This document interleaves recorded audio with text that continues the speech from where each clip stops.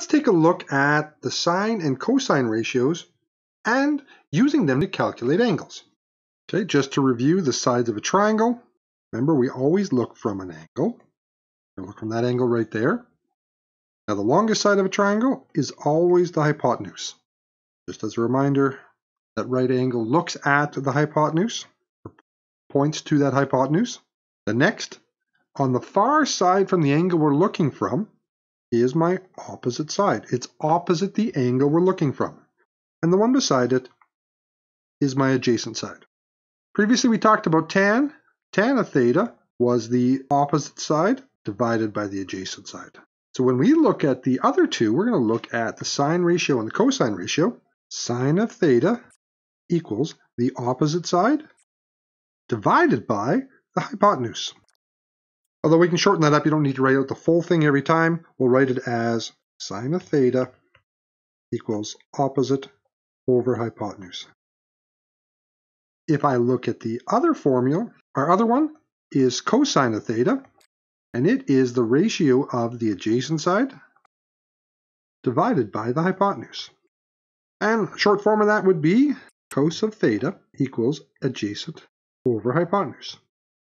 These three are known as our primary trig ratios. Okay, let's look at an easy way to remember these. SOHCAHTOA is a little mnemonic that helps you remember what each of these are.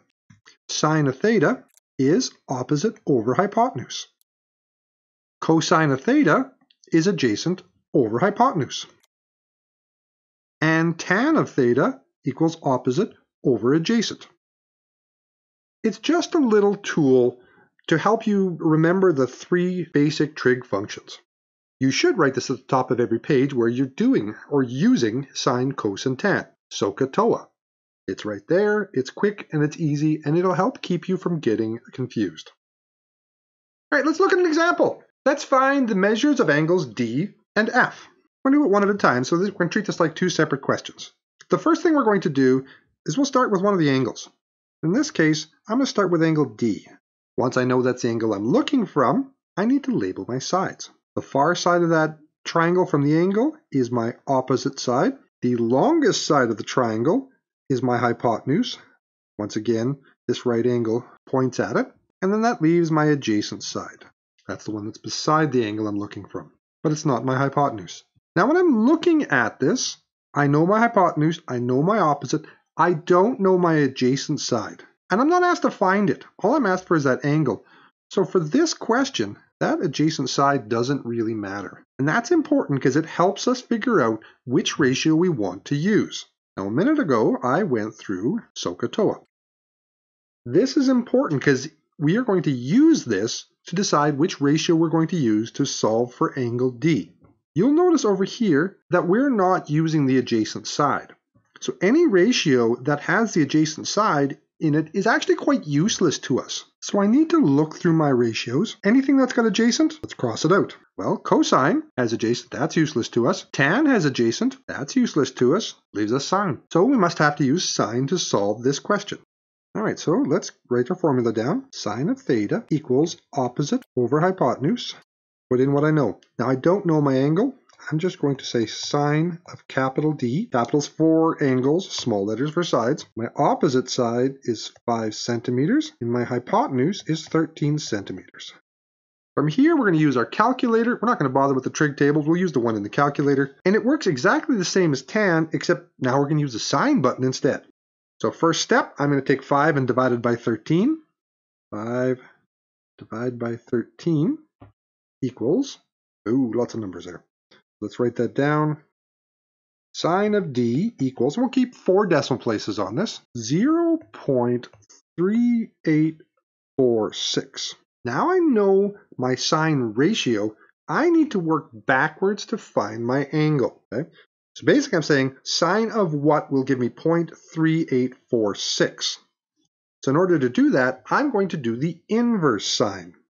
Write that as sine to the negative 1 of 0 3846. Pull out our calculator. I'm in degree mode, that's all good. Trigonometry, second function. I want to do second function sine. Look at that, 22.619 degrees. Let's write that down as 23 degrees. angle D equals 23 degrees. There's my angle. Now let's go and find angle F. I'm going to be looking from a different angle this time, so I'm going to have to relabel those sides. You'll notice I made a new copy of the triangle, and I've cleared off SOHCAHTOA at the top of the page. That matters because now I'm looking from a different angle than I was last time. My side names are going to change, or at least two of them are. So now I'm looking from that angle right there. The right angle still points at the hypotenuse. The side of the triangle from the far side of my angle is my opposite side. Notice how the opposite is a different side than it was when we did angle D. That's because we're looking from a different angle. And then that last side that's beside angle F, that's my adjacent side. So if I want to find angle F, I now have to figure out which trig ratio I'm going to use. When I look at my triangle, I notice I don't know my opposite side. I don't know it, and I'm not asked to find it, so I'm going to ignore it. What that means is I can ignore any trig ratio that doesn't use the opposite side. Sine, well, that uses the opposite side, so that's not helpful to us. Cos doesn't use the opposite side. Tan does, uses the opposite side, so it's useless to us. We are going to use the cosine ratio, and let's write that down. Cos of theta equals adjacent over hypotenuse. Let's put in what we know. Cos, I don't know my angle, so I'm just say cos of capital F equals my adjacent side, which is 5 centimeters, divided by my hypotenuse, which is 13 centimeters. Let's pull up our calculator and work that through. 5 divided by 13 equals 0.3846. Wait a minute. That's exactly the same as my sine ratio was. But you'll notice when we go and use the second function cos, that ratio will give us a different angle because it's looking on the cos section of the tables and not the sine section of the tables. When I do f equals the inverse cos, so that's the cos of negative 1 of 0.3846. Let's check that on the calculator. So let's check that out on the calculator. I still have my ratio on there, so I'm going to go trig second function cos. See, I've got that cos negative 1 angle F equals 67.38 degrees. Let's round that off to the nearest degree. Angle F equals 67 degrees. And there is my angle F. Now I want to take a quick moment. There was a faster way you could have figured out that second angle. But I wanted to show you cos. So now I'm going to show you the faster way. We knew that this angle right here was a 90 degree angle. We calculated that angle, angle D, to be 23 degrees. All the angles in a triangle add up to 180 degrees. So I could have taken that 90 degree angle, that 23 degree angle, subtracted them both from 180 degrees, and I would have ended up right back here at that 67 degrees. So sometimes there are smarter ways to do the same question. All right, let's do one last question here. Find the measure of angle theta. Before we go to start answering this question, let's write SOHCAHTOA on the top of our page. And then let's label our sides. This is the angle I'm looking from, so my right angle points at this side right here. That's my hypotenuse. The angle I'm looking from, the far side of the triangle is over here. So that's my opposite side. And that last leg that's left over is my adjacent. Take a look at which two sides I'm going to use. I know my hypotenuse. I know my opposite. I don't know my adjacent.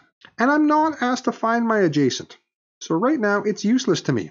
What that also means is any trig ratio with adjacent in it isn't useful to me right now.